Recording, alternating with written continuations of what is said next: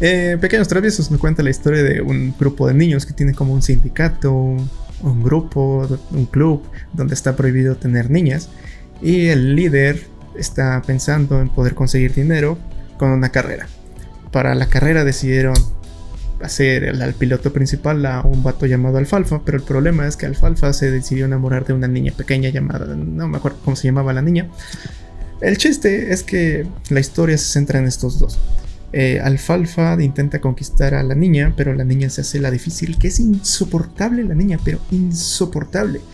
Es, es decir, a ver, es un grupo que literalmente es odio a las niñas, así se llama, grupo anti niñas. Y la niña le dice, ah, pues llévame, ¿por qué, ¿Por qué no me quieres llevar? Pues porque así se llama, ¿no? Pues grupo anti niñas. Pero bueno, y después se pone medio insoportable, de que se va con el otro vato riquillo y cosas así. A mí, a mí me gusta mucho esta película, tengo mucho cariño por mi infancia. Y está, está muy buena, el diseño de producción y todos los vestuarios está muy bueno. Hay un niño pelón. Hay un niño que está pelón. Se me hizo un buen detalle que no ves cuando, cuando eres pequeño porque pasas por alto, pero está muy buena. A mí me gusta muchísimo y esos detalles del niño pelón se me hicieron buenísimos. Este. Es una peli de la infancia. Yo recuerdo haberla visto muchas veces que en el canal 5 o, en, la tele abierta en general. Creo que la vi mucho. este, sí, siempre la pasaban. sí, sí. Es, una comedia muy. Em, pues muy infantil hasta cierto punto, muy sin, ningún tipo de, juego de doble sentido, inocente, es la palabra que estaba buscando, gracias, muy inocente. Este, y no sé, no sé si sí es esta la, escena o la película donde el niño le canta a ella. Sí es esa, ah. E, este, donde canta y se le salen las burbujas. Sí. Ah, sí es esta. Esa escena me encanta.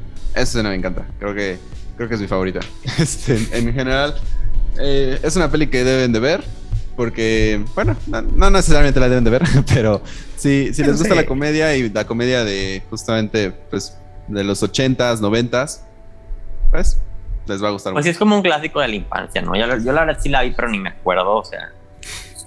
Este, pero sí es un, es un clásico de la infancia, o sea. Es que sí, sí. Es, aunque no te acuerdas de la historia de los personajes, bueno, el personaje principal, Alfalfa, te acuerdas de cómo es, de cómo está su peinado, de bueno, esas cosas. Sí, sí, sí, sí. Yo la, comparo mucho, bueno, no tiene nada que ver con los temas, pero creo que es este tipo de comedias. O sea, si te gusta Ricky Ricón, si te gusta este. La pandilla de los cinco, creo que se llamaba. Si te gusta las de, por ejemplo, las primeras de Beethoven este, pues te va a gustar esta, ¿no? Porque es, es ese tipo de película en general. ¿Sabes cuál también? Me recuerdo.